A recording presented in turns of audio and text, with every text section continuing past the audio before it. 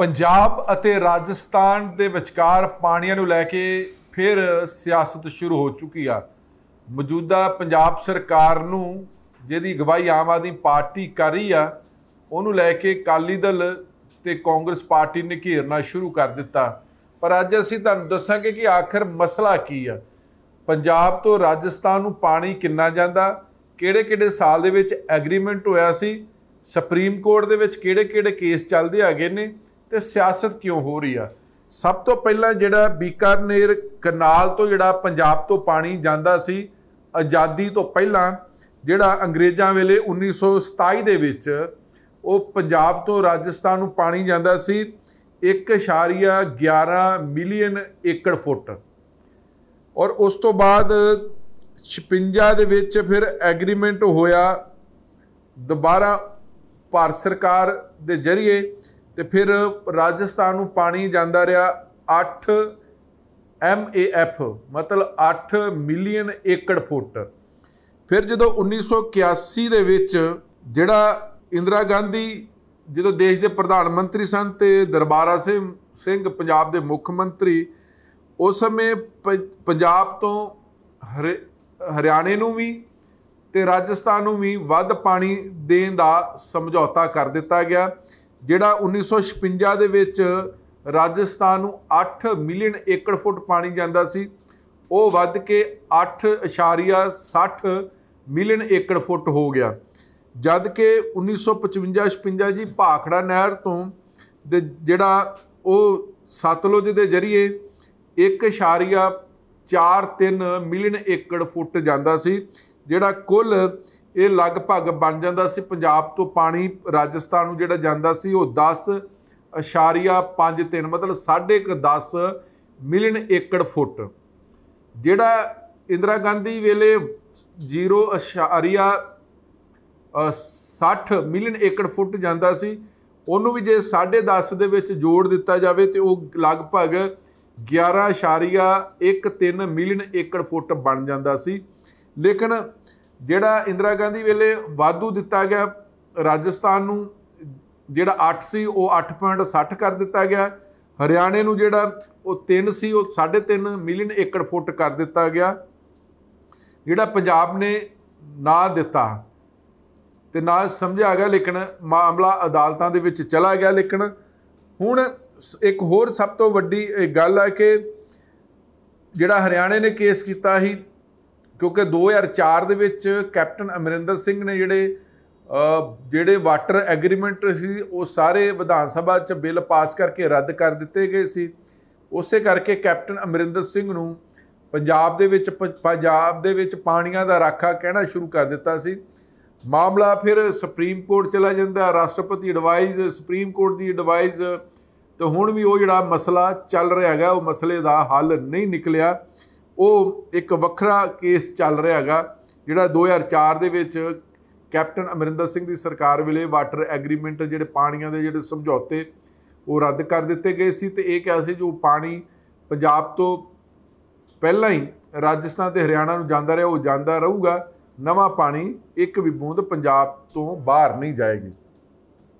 ਹੁਣ ਦੂਜਾ ਜਿਹੜਾ ਮਸਲਾ ਹੈਗਾ ਕਿ ਜਿਹੜੇ ਪੰਜਾਬ ਦੇ ਵਿੱਚ ਤਿੰਨ ਜਿਹੜੇ ਵਾਟਰ ਹੈਡ ਵਰਕਸ ਨੇ ਜਿਹਦੇ ਚ ਰੋਪੜ ਆ ਫਿਰੋਜ਼ਪੁਰ ਆ ਤੇ ਹਰੀਕੇ। ਉਹ ਵੀ ਰਾਜਸਥਾਨ ਗਵਰਨਮੈਂਟ ਨੇ ਕੇਸ ਪਾਇਆ ਸੀ। ਰਾਜਸਥਾਨ ਹਾਈ ਕੋਰਟ ਨੇ ਰਾਜਸਥਾਨ ਦੇ ਹੱਕ ਵਿੱਚ ਦੇ ਦਿੱਤਾ ਸੀ ਕਿ ਜਿਹੜੇ ਤਿੰਨ ਹੈਡਰ ਵਰਕਸ ਹੈ ਨੇ ਵਾਟਰ ਵਰਕਸ ਫਿਰੋਜ਼ਪੁਰ, ਰੋਪੜ ਤੇ ਹਰੀਕੇ, ਇਹਦਾ ਜਿਹੜਾ ਪ੍ਰਬੰਧ ਆ, ਉਹ ਵੀ ਭਾਖੜਾ ਬਿਆਸ ਪ੍ਰਬੰਧਨ ਬੋਰਡ ਨੂੰ ਦਿੱਤਾ ਜਾਵੇ, ਮਤਲਬ ਬੀਬੀਐਮਬੀ ਨੂੰ ਦਿੱਤਾ ਜਾਵੇ। ਜਿਹੜਾ ਰਾਜਸਥਾਨ ਹਾਈ ਕੋਰਟ ਦਾ ਫੈਸਲਾ ਰਾਜਸਥਾਨ ਦੇ ਹੱਕ ਵਿੱਚ ਆਇਆ ਸੀ ਉਹਨੂੰ ਪੰਜਾਬ ਸਰਕਾਰ ਨੇ ਚੁਣੌਤੀ ਦੇ ਦਿੱਤੀ ਸੀ, ਸੁਪਰੀਮ ਕੋਰਟ 'ਚ ਸਟੇ ਲੱਗ ਗਈ ਸੀ ਤੇ ਉਹ ਵੀ ਗੱਲ ਨਹੀਂ ਸੀ ਬਣੀ। ਲੇਕਿਨ ਰਾਜਸਥਾਨ ਦਾ ਜਿਹੜਾ ਪਾਣੀ ਦਾ ਜਿਹੜਾ ਮਸਲਾ ਉੱਠ ਕੇ ਹੁਣ ਸਾਹਮਣੇ ਆਇਆ ਕਿ ਆਖਰ ਮਸਲਾ ਕੀ ਹੈ ਕਿ ਜਦ ਉਹ ਪਾਣੀ ਐਗਰੀਮੈਂਟ ਜਿਹੜੇ ਚਾਹੇ 56 ਵਾਲਾ ਜਾਂ 55 56 1927 ਵਾਲਾ ਜਾਂ 1981 ਵਾਲਾ, ਇਹ ਜਿਹੜਾ ਜਾ ਰਿਹਾ ਸੀ 10.5 ਫੁੱਟ ਤੇ ਜਿਹੜਾ 11 ਫੁੱਟ ਬਣ ਜਾਂਦਾ ਜਦੋਂ ਇੰਦਰਾ ਗਾਂਧੀ ਦੇਸ਼ ਦੀ ਪ੍ਰਧਾਨ ਮੰਤਰੀ ਵੱਲੋਂ ਪੰਜਾਬ ਤੋਂ ਪਾਣੀ ਖੋ ਕੇ ਰਾਜਸਥਾਨ ਨੂੰ ਵੀ ਦਿੱਤਾ ਜਾਂਦਾ 0.60 ਮਿਲੀਅਨ ਏਕੜ ਫੁੱਟ ਤੇ ਹਰਿਆਣੇ ਨੂੰ ਵੀ।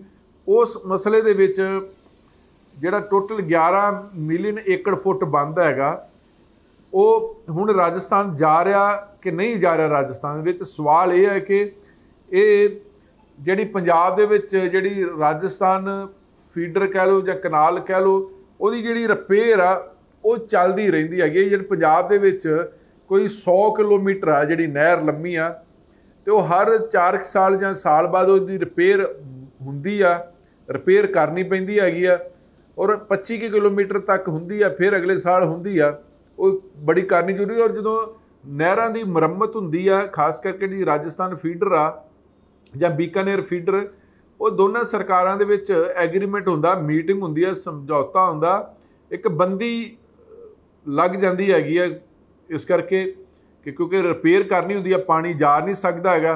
ਹੁਣ ਸਵਾਲ ਹੈ ਕਿ ਰਿਪੇਅਰ ਚੱਲ ਰਹੀ ਹੈਗੀ ਆ, ਦੋਨਾਂ ਸਰਕਾਰਾਂ ਨੂੰ ਪਤਾ, ਪੰਜਾਬ ਨੂੰ ਵੀ ਤੇ ਰਾਜਸਥਾਨ ਨੂੰ ਵੀ, ਕਿ ਜੇ ਬੰਦੀ ਲੇਟ ਹੋ ਗਈ ਚੁੱਕੀ ਹੈ ਜੇ ਮੱਥਿਆ ਸੀ ਦੇਣ ਲੋਕਾਂ ਨੂੰ ਦੱਸਿਆ ਜਾਂਦਾ ਕਿ ਰਿਪੇਅਰ ਚੱਲ ਜਾਂਦੀ ਆ, ਪਾਣੀ ਬਾਰੇ ਲੋਕਾਂ ਨੂੰ ਜਾਣਕਾਰੀ ਦਿੱਤੀ ਜਾਂਦੀ ਆ, ਤੇ ਇਹ ਮਸਲਾ ਸਟੇਟ ਟੂ ਸਟੇਟ ਹੋ ਸਕਦਾ। ਪੰਜਾਬ ਸਰਕਾਰ ਰਾਜਸਥਾਨ ਦਾ ਮਸਲਾ ਹੋ ਸਕਦਾ। ਲੇਕਿਨ ਐਨ ਮੌਕੇ, ਕਿਉਂਕਿ ਪਾਣੀ ਜਾ ਨਹੀਂ ਰਿਹਾ ਰਾਜਸਥਾਨ 'ਚ, ਕਿਉਂਕਿ ਰਿਪੇਅਰ ਚੱਲ ਰਹੀ ਹੈਗੀ ਆ। ਤੇ ਉੱਥੇ ਧਰਨੇ ਮਜਾਰੇ, ਰੋਸ ਮਜਾਰੇ ਚੱਲ ਰਹੇ ਨੇ ਕਿਸਾਨਾਂ ਦੇ ਵੀ ਤੇ ਆਮ ਲੋਕਾਂ ਦੇ ਵੀ। ਜਿਹੜੇ ਐਮਪੀ ਕਰਕੇ ਮਸਲਾ ਉੱਠਿਆ ਹੈਗਾ, ਉਹ ਨੇ ਹਨੂਮਾਨ ਬੈਨੀਪਾਲ, ਜਿਹੜੇ ਨਗੌਰ ਲੋਕ ਸਭਾ ਰਾਜਸਥਾਨ ਤੋਂ ਮੈਂਬਰ ਨੇ, ਉਹਨਾਂ ਨੇ ਉੱਥੇ ਜਿਹੜੇ ਕਿਸਾਨ ਤੇ ਆਮ ਲੋਕ ਪ੍ਰੋਟੈਸਟ ਕਰ ਰਹੇ, ਜਿਹੜੇ ਕਹਿ ਰਹੇ ਕਿ ਪੰਜਾਬ ਤੋਂ ਪਾਣੀ ਨਹੀਂ ਆ ਰਿਹਾ, ਇਸ ਮਸਲੇ ਦੇ ਵਿੱਚ ਰਾਜਸਥਾਨ ਜਿਹੜੀ ਅਸ਼ੋਕ ਗਲੋਤ ਸਰਕਾਰ ਆ, ਉਹ ਬਿਲਕੁਲ ਚੋਪਾ ਸਵਾਲ ਹੈ ਕਿ ਰਾਜਸਥਾਨ ਗਵਰਨਮੈਂਟ ਨੂੰ ਵੀ ਪਤਾ ਕਿ ਨਹਿਰ ਦੀ ਮੁਰੰਮਤ ਹੋ ਰਹੀ ਆ, ਪੰਜਾਬ ਗਵਰਨਮੈਂਟ ਨੂੰ ਵੀ ਪਤਾ ਨਹਿਰ ਦੀ ਮੁਰੰਮਤ ਹੋ ਰਹੀ ਆ। ਲੇਕਿਨ ਪੰਜਾਬ 'ਚ ਕਿਉਂਕਿ ਆਮ ਆਦਮੀ ਪਾਰਟੀ ਦੀ ਸਰਕਾਰ ਹੈ ਤੇ ਆਮ ਆਦਮੀ ਪਾਰਟੀ ਦੀ ਨੈਸ਼ਨਲ ਪੱਧਰ ਤੇ ਸਿਆਸੀ ਤੌਰ ਤੇ ਭੁੱਖ ਵੱਧਦੀ ਜਾ ਰਹੀ ਆ, ਵਧਣੀ ਵੀ ਚਾਹੀਦੀ ਆ ਨੈਸ਼ਨਲ ਪਾਰਟੀ ਬਣ ਚੁੱਕੀ ਆ। ਲੇਕਿਨ ਜਿਹੜੇ ਨਗੌਰ ਤੋਂ ਲੋਕ ਸਭਾ ਮੈਂਬਰ ਨੇ ਹਨੂਮਾਨ ਬੈਣੀਪਾਲ, ਉਹਨਾਂ ਨੇ ਉੱਥੇ ਰਾਜਸਥਾਨ ਦੇ ਕਿਸਾਨਾਂ ਤੇ ਆਮ ਲੋਕਾਂ ਦੇ ਵਿੱਚ ਦਾਅਵਾ ਕੀਤਾ ਕਿ ਪੰਜਾਬ ਦੇ ਮੁੱਖ ਮੰਤਰੀ ਭਗਵੰਤ ਮਾਨ ਸਾਹਿਬ, ਉਹਨਾਂ ਦੇ ਬਹੁਤ ਜਿਗਰੀ ਯਾਰ ਨੇ, ਦੋਸਤ ਨੇ, ਇਕੱਠੇ ਪਾਰਲੀਮੈਂਟ ਦੇ ਵਿੱਚ ਕਿਸਾਨਾਂ ਦੀ ਗੱਲ ਕਰਦੇ ਰਹੇ ਨੇ। ਤੇ ਇਸ ਕਰਕੇ ਉਹ ਐਤਵਾਰ ਨੂੰ ਬਠਿੰਡੇ ਆ ਕੇ ਮੁੱਖ ਮੰਤਰੀ ਭਗਵੰਤ ਮਾਨ ਸਾਹਿਬ ਨੂੰ ਮਿਲੇ ਨੇ। ਇਸ ਮੀਟਿੰਗ ਦੇ ਵਿੱਚ ਉੱਥੋਂ ਰਾਜਸਥਾਨ ਤੋਂ ਹਨੂਮਾਨ ਬੈਣੀਪਾਲ ਦੇ ਨਾਲ ਕਈ ਹੋਰ ਲੀਡਰ ਵੀ ਤੇ ਕਿਸਾਨ ਆਗੂ ਵੀ ਆਏ ਸੀ ਤੇ ਪੰਜਾਬ ਮੁੱਖ ਮੰਤਰੀ ਦੇ ਨਾਲ ਸੀਨੀਅਰ ਅਧਿਕਾਰੀ ਵੀ ਗਏ ਸੀ, ਨਹਿਰ ਵਿਭਾਗ ਦੇ ਅਧਿਕਾਰੀ ਵੀ ਗਏ ਸੀ। ਉਹ ਸਾਰੀ ਗੱਲਬਾਤ ਦੱਸੀ ਹੋਗੀ ਪੰਜਾਬ ਦੇ ਮੁੱਖ ਮੰਤਰੀ ਨੇ ਮੀਟਿੰਗ ਕਰਨ ਤੋਂ ਬਾਅਦ ਤੇ ਪੰਜਾਬ ਦੀ ਜਨਤਾ ਨੂੰ ਕੁਝ ਦੱਸਿਆ ਨਹੀਂ, ਲੇਕਿਨ ਰਾਜਸਥਾਨ ਦੇ ਤੋਂ ਜਿਹੜੇ ਲੋਕ ਸਭਾ ਮੈਂਬਰ ਆਏ ਸੀ, ਉਹਨਾਂ ਨੇ ਜਾ ਕੇ ਉੱਥੇ ਐਲਾਨ ਕਰ ਦਿੱਤਾ। ਵੱਡੀਆਂ ਵੱਡੀਆਂ ਅਖਬਾਰਾਂ 'ਚ ਖਬਰਾਂ ਛਪ ਗਈਆਂ ਕਿ ਪੰਜਾਬ ਤੋਂ ਪਾਣੀ ਮਿਲੂਗਾ। ਉਹ ਜਦੋਂ ਪਾਣੀ ਮਿਲੂਗਾ, ਖਬਰਾਂ ਛਪ ਗਈਆਂ ਤੇ ਪੰਜਾਬ ਦੇ ਵਿੱਚ ਵੀ ਰੌਲਾ ਪੈ ਗਿਆ ਕਿ ਪੰਜਾਬ ਤੋਂ ਵਾਧੂ ਪਾਣੀ ਦਿੱਤਾ ਨਹੀਂ ਜਾ ਸਕਦਾ ਤੇ ਪੰਜਾਬ ਦੇ ਮੁੱਖ ਮੰਤਰੀ ਭਗਵੰਤ ਮਾਨ ਸਾਹਿਬ ਇਹ ਕਿਹੜੀ ਯਾਰੀ ਪਗਾਉਣ ਲੱਗੇ ਨੇ? ਹੁਣ ਸਵਾਲ ਹੈ ਕਿ ਆਮ ਆਦਮੀ ਪਾਰਟੀ ਦੀ ਸਿਆਸੀ ਭੁੱਖ ਵੱਧਦੀ ਜਾ ਰਹੀ ਆ ਤੇ ਦੂਜੇ ਪਾਸੇ ਰਾਜਸਥਾਨ ਦੀਆਂ 5-6 ਮਹੀਨੇ ਬਾਅਦ ਵਿਧਾਨ ਸਭਾ ਚੋਣਾਂ ਨੇ। ਤੇ ਜਿਸ ਕਰਕੇ ਮੰਨਿਆ ਜਾ ਰਿਹਾ ਕਿ ਆਮ ਆਦਮੀ ਪਾਰਟੀ ਦੀ ਜਿਹੜੀ ਸਿਆਸੀ ਤੌਰ ਤੇ ਲਾਲਸਾ ਇਹ ਆ ਕਿ ਹਨੂਮਾਨ ਬੈਣੀਪਾਲ ਜਿਹੜੇ ਲੋਕ ਸਭਾ ਮੈਂਬਰ ਨੇ, ਉਹਨੂੰ ਉਹਦੀ ਪਾਰਟੀ ਜਿਹੜੀ ਆ, ਰਾਸ਼ਟਰੀ ਲੋਕਤੰਤਰਕ ਪਾਰਟੀ, ਉਹਨੂੰ ਆਮ ਆਦਮੀ ਪਾਰਟੀ ਚ ਮਰਜ ਕੀਤਾ ਜਾਵੇ ਤੇ ਮੁੱਖ ਮੰਤਰੀ ਦਾ ਜਿਹੜਾ ਚਿਹਰਾ ਵਾ, ਆਉਂਦੀਆਂ ਰਾਜਸਥਾਨ ਦੀਆਂ ਵਿਧਾਨ ਸਭਾ ਚੋਣਾਂ 'ਚ ਉਹਨੂੰ ਬਣਾਇਆ ਜਾਵੇ। ਤੇ ਜਿਸ ਕਰਕੇ ਇਹ ਪਾਣੀਆਂ ਦੇ ਮਸਲੇ ਦੇ ਨਾਲ ਨਾਲ ਇਹ ਯਾਰੀ ਪਗਾਈ ਜਾ ਰਹੀ ਹੈ ਤੇ ਰਾਜਸਥਾਨ ਦੇ ਵਿੱਚ ਆਮ ਆਦਮੀ ਪਾਰਟੀ ਆਪਣੀ ਐਂਟਰੀ ਪਾਣੀਆਂ ਦੇ ਜ਼ਰੀਏ ਤੇ ਹਨੂਮਾਨ ਬੈਨੀਪਾਲ ਦੇ ਜ਼ਰੀਏ ਕਰ ਰਹੀ ਹੈ। ਇਸ ਕਰਕੇ ਪੰਜਾਬ ਦੇ ਵਿੱਚ ਇਹ ਨਵੀਂ ਪਾਣੀਆਂ ਤੇ ਸਿਆਸਤ ਸ਼ੁਰੂ ਹੋ ਚੁੱਕੀ ਆ ਤੇ ਆਮ ਆਦਮੀ ਪਾਰਟੀ ਚਾਹੁੰਦੀ ਆ ਕਿ ਜਿਹੜੇ ਹਨੂਮਾਨ ਬੈਨੀਪਾਲ ਨੇ ਉਹਨਾਂ ਦੇ ਰਾਜਸਥਾਨ 'ਚ ਕਾਫੀ ਅਸਰ ਸੂਖ ਆ। ਖਾਸ ਕਰਕੇ ਜਿਹੜੇ ਪੰਜਾਬ ਦੀ ਬੈਲਟ ਦੇ ਨਾਲ ਲੱਗਦੇ ਰਾਜਸਥਾਨ ਦੇ ਜ਼ਿਲ੍ਹੇ ਨੇ, ਚਾਹੇ ਉਹ ਹਨੂਮਾਨਗੜ੍ਹ ਨੇ, ਚਾਹੇ ਗੰਗਾਨਗਰ ਨੇ ਜਾਂ ਹੋਰ ਜਿਹੜੇ ਹਲਕੇ ਨੇ, ਉੱਥੇ ਉਹਦਾ ਕਾਫੀ ਪ੍ਰਭਾਵ ਆ। ਨਗੌਰ ਹਲਕੇ ਦੇ ਵਿੱਚ ਵੀ ਜਿਸ ਕਰਕੇ ਵਿਧਾਨ ਸਭਾ 'ਚੋਂ ਇੱਕ ਚੰਗਾ ਚਿਹਰਾ ਬਣ ਸਕਦਾ ਹੈਗਾ ਤੇ ਵਿਧਾਨ ਸਭਾ ਦੇ ਜਿਹੜੇ 5-6 ਮਹੀਨੇ ਬਾਅਦ ਵੋਟਾਂ ਪੈਣੀਆਂ ਨੇ, ਉਹਦੇ ਚ ਆਮ ਆਦਮੀ ਪਾਰਟੀ ਦਾ ਵੀ ਰਾਜਸਥਾਨ ਤੋਂ ਖਾਤਾ ਖੁੱਲ ਸਕੇ। ਹੁਣ ਇੱਕ ਪਾਸੇ ਪਾਣੀਆਂ ਦਾ ਮਸਲਾ, ਰਾਜਸਥਾਨ ਚ ਆਮ ਆਦਮੀ ਪਾਰਟੀ ਦੀ ਸਿਆਸੀ ਭੋਕਾ ਪੰਜਾਬ ਦੇ ਵਿੱਚ ਹੁਣ ਸ਼੍ਰੋਮਣੀ ਅਕਾਲੀ ਦਲ ਨੇ ਵੀ ਆਵਾਜ਼ ਬੁਲੰਦ ਕਰ ਦਿੱਤੀ ਆ, ਧਰਨੇ ਮੁਜ਼ਾਹਰੇ ਸ਼ੁਰੂ ਕਰ ਦਿੱਤੇ ਨੇ। ਨਾਲ ਦੀ ਨਾਲ ਕਾਂਗਰਸ ਪਾਰਟੀ ਨੇ ਵੀ ਸਪਸ਼ਟੀਕਰਨ ਮੰਗ ਲਿਆ ਕਿ ਭਗਵੰਤ ਮਾਨ ਇਸ ਮਸਲੇ ਦੇ ਵਿੱਚ ਸਪਸ਼ਟੀਕਰਨ ਦੇਵੇ।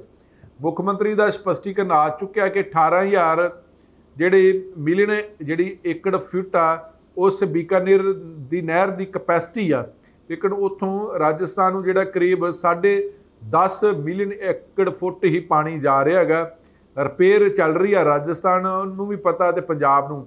ਲੇਕਿਨ ਇਹ ਮਸਲਾ ਪੰਜਾਬ ਦੇ ਮੁੱਖ ਮੰਤਰੀ ਤੇ ਰਾਜਸਥਾਨ ਦੇ ਜਿਹੜੇ ਮੁੱਖ ਮੰਤਰੀ ਨੇ ਅਸ਼ੋਕ ਗਲੋਤ ਉਹਨਾਂ ਵਿਚਕਾਰ ਸੁਲਝ ਸਕਦਾ, ਲੇਕਿਨ ਉੱਥੇ ਜਿਹੜਾ ਹੀਰੋ ਬਣ ਕੇ ਉਭਰਨ ਦੀ ਕੋਸ਼ਿਸ਼ ਕਰ ਰਹੇ ਨੇ ਹਨੂਮਾਨ ਬੈਨੀਪਾਲ ਜਿਸ ਕਰਕੇ ਮਸਲਾ ਕਾਫੀ ਵੱਡਾ ਬਣਦਾ ਜਾ ਰਿਹਾ।